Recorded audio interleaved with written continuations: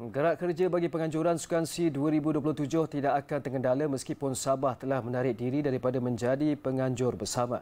Menteri Belia dan Sukan Hanayo berkata pihaknya juga tidak bercadang untuk mencari negeri lain sebagai pengganti. Uh, kita akan bergerak bersama Sarawak dan Pulau Pinang dan Kuala Lumpur uh, dan uh, setakat ini memang kita sudah uh, tak ada lagi negeri-negeri lain kerana kita dah tulis notis banyak kepada negeri lain. Cuma kita ada tiga sekarang dan cukup. So tidak akan tergendala walaupun Sabah tidak masuk. Jangan risau. Plan akan berjalan dan kita akan panggil mesyuarat secepat mungkin.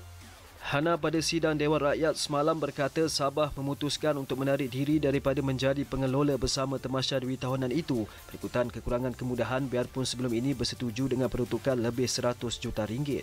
Beliau berkata ketika ini kementerian sedang dalam proses menubuhkan jawatan kuasa pengelola dan sekretariat Sukan C 2027 melalui perbincangan dengan Majlis Olimpik Malaysia, Majlis Paralimpik Malaysia, pelbagai kementerian berkaitan serta kerajaan negeri. Kerajaan pada 28 Ogos lalu telah meluluskan cadangan untuk Malaysia menjadi tuan rumah Temasya Sukan C dan Sukan Para ASEAN 2027.